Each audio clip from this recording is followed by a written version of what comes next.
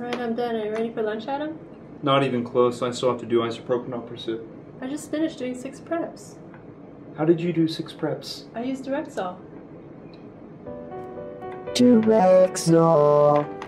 For decades, the guanidinium acid phenol or TRIzol method has been the gold standard in RNA extractions, capable of isolating large amounts of total RNA from the widest varieties of tissues and samples possible with the least amount of DNA carryover. But the method has problems. Tedious phase separation and precipitation steps contribute to a lengthier, more cumbersome protocol. This has limited the accessibility to new users and presents challenges for high throughput scaling. When not performed carefully, problems like phenol carryover distort absorbance spectra and interfere with the ubiquitous reverse transcriptase reaction. What if the researcher could combine the powerful extraction characteristics of tri-reagent with the speed and simplicity of a column purification platform?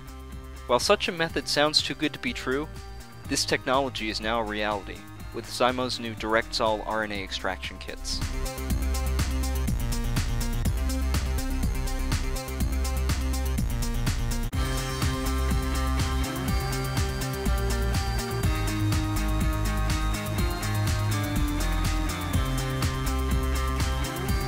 Tissue and cells can be directly homogenized in the tri-reagent.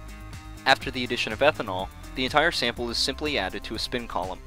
At this point, no phase separations or precipitations are required. Wash spins are simply carried out at room temperature, with no need for a refrigerated centrifuge.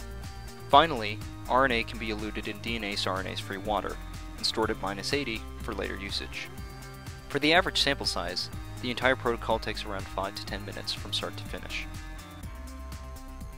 The end result of your purification is high quality, DNA free total RNA.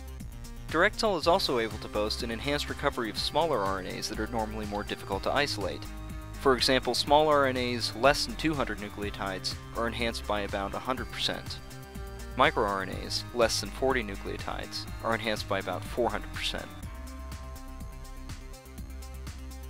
With Direct-zol from Zymo Research, more researchers will have access to the rapid acquisition of high quality RNA, promising even more rapid advances in the study of gene expression, message silencing, the role of RNAs in epigenetics, and more.